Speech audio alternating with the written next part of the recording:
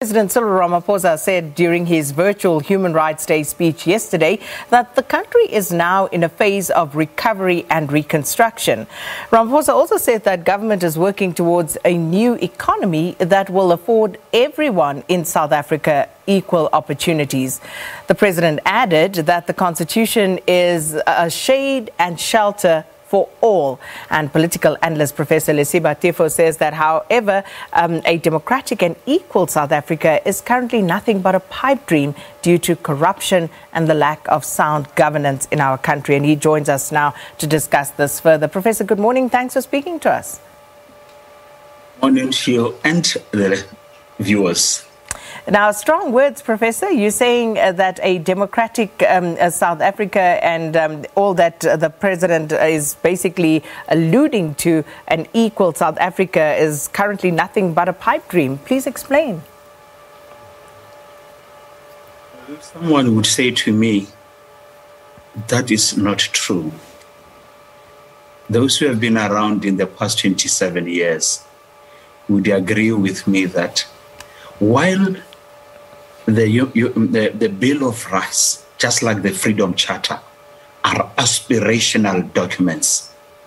We should commit ourselves to the realization of those dreams and ideals. But sometimes we are the very ones who are working out against the attainment of those dreams. Yes, he spoke about unity, right? He spoke about uh, uh, inclusivity, about nation building. Are we really on the right trajectory? Yes. The first 10, first 10 years under President Mbeki and President Mandela, we look like we are on the path of realizing the dream of a, a rainbow nation. Later on, things started to fall apart and the center failed to hold. We are more divided today than we were at least 20 years ago. And I, I dare say, look around when we celebrate public holidays, national days. There are fewer whites, Indians, and colors.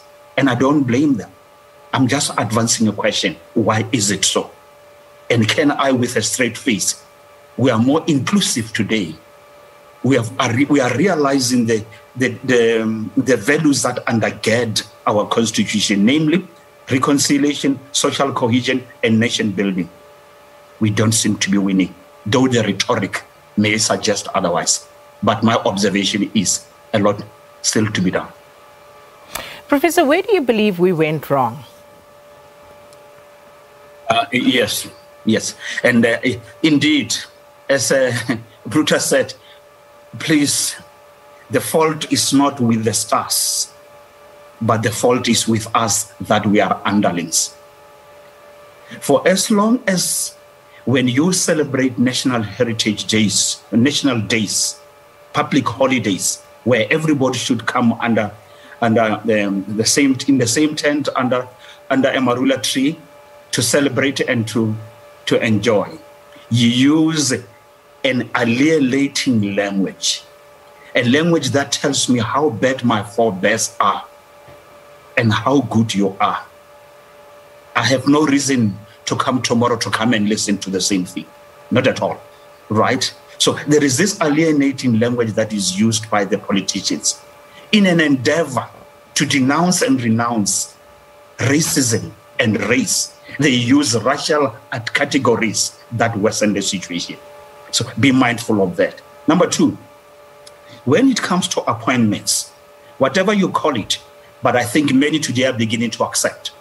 While the intentions were good, but some would find it justifiable to say BEE, affirmative action, are alienating and are undermining social cohesion, are undermining nation building. Never, people mustn't forget affirmative action where it was founded in the US it was intended to empower, to alleviate the material conditions of the wretched of the earth. But it was never intended to be a permanent feature of social organization. I remember then President Motlanthe's uh, say, is it not time we do away with affirmative action? For it was never intended to be a permanent feature of our social structure. But yes, we are not willing to engage that. That cannot augur well for social cohesion, nation building, and reconciliation. You go to the tender system. Who are the people tendering? There are those who don't even try to apply. I spent my life in the university space to date. I, I, I find it regrettable that there are certain executive positions that whites, Indians, and colors, and whites in particular, would not apply for those positions. Never mind their academic and intellectual work, because they feel already automatically excluded. Can we talk about social cohesion, nation building, and reconciliation? I'm inviting my society to begin to engage and to say, where did we go wrong and how can we correct this? Uh, uh let's just uh, stay on the notion, uh, the question of affirmative action in BEE for a second. So, if we look at the rationale, the objective behind the implementation of these policies, and as you say, they may not have been intended to be around forever, but there was a specific reason as to why it needed to happen. It was about redress.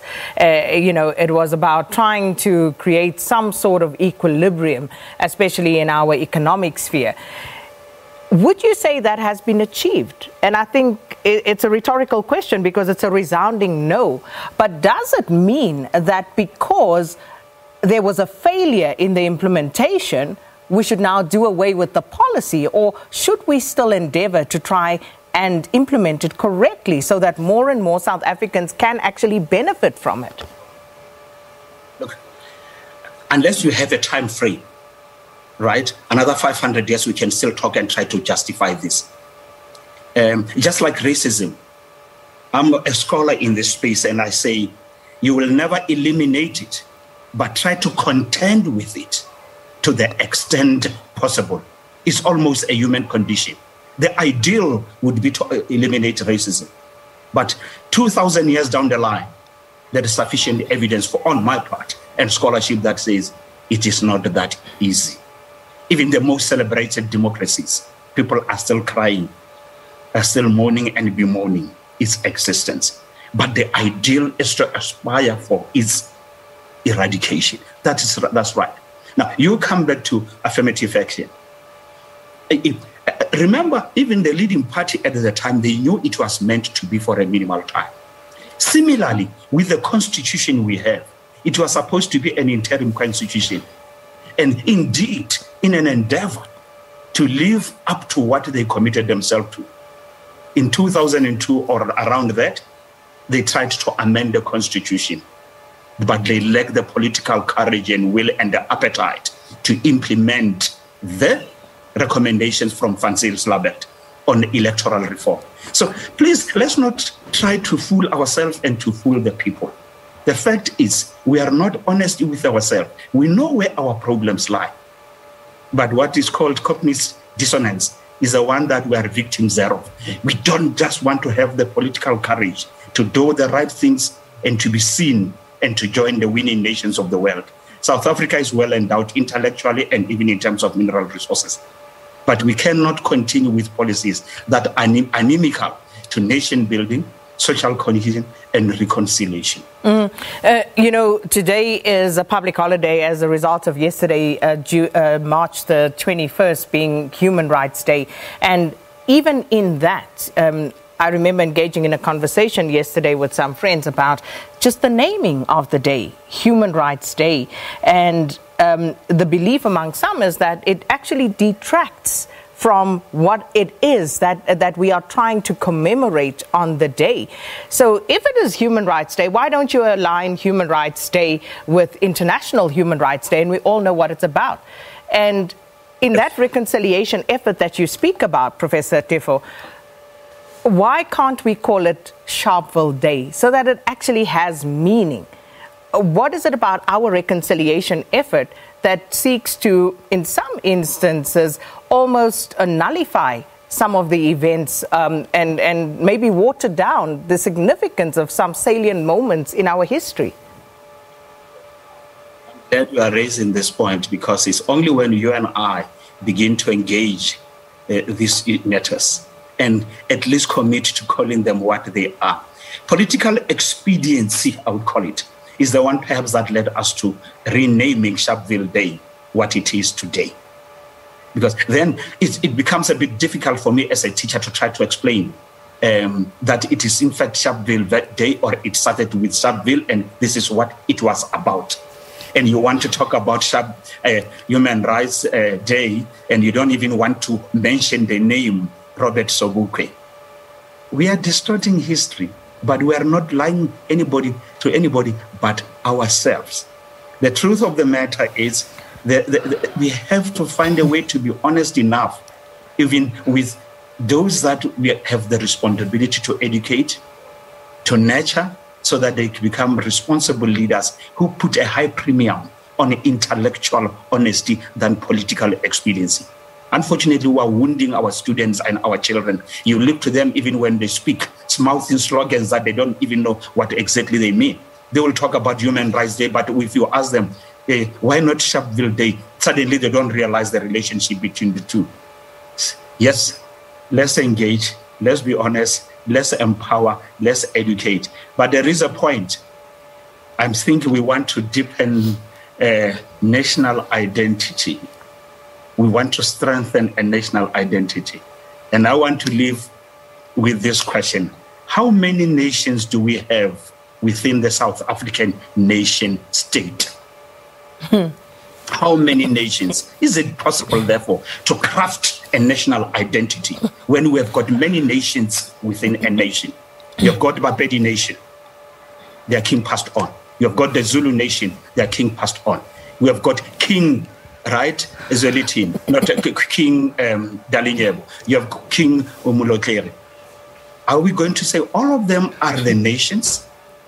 If we say no, then we are unfair we are not honest. We are contradictory.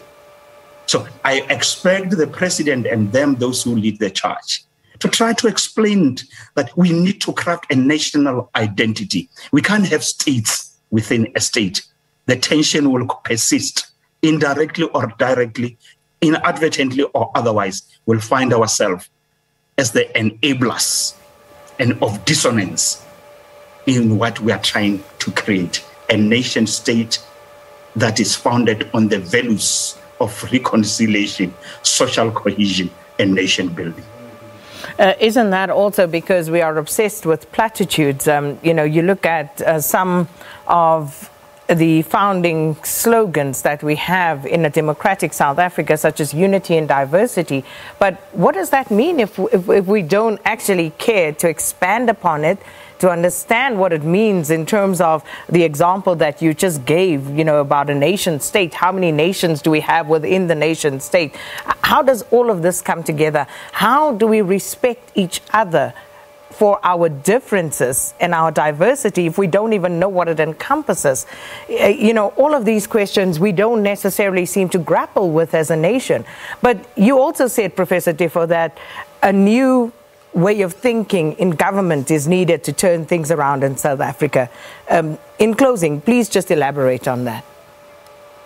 President, my president, please lead from the front. Please lead from the front.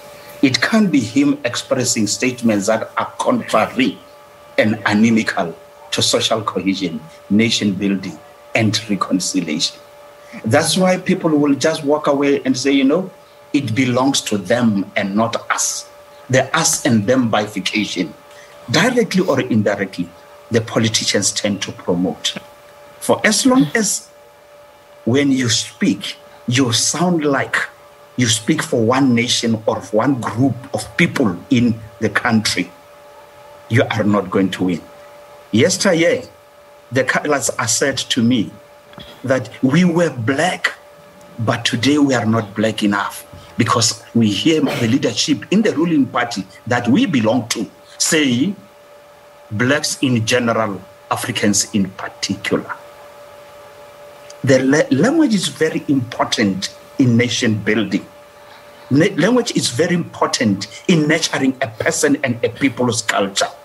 Na- language is very central to what we want to achieve an inclusive society. And when they get to the platform, and, so, and media platforms and otherwise, let them be mindful of the language they use. Let it not be divisive. Let it not be alienating, but let it engender a message of, a message of hope, a message that says it is possible to build one nation state our diversity notwithstanding, and indeed celebrating our diversity within that nation state. It is possible, and I ask my president to lead from the front. Well, thank you so much, uh, Professor Lesiba Teffo, who is a political analyst, talking to us about his views on human rights in South Africa. This, of course, after we commemorated Human Rights Day uh, yesterday, and this speaking to the massacres that took place in Sharpeville and Langa in uh, 1960.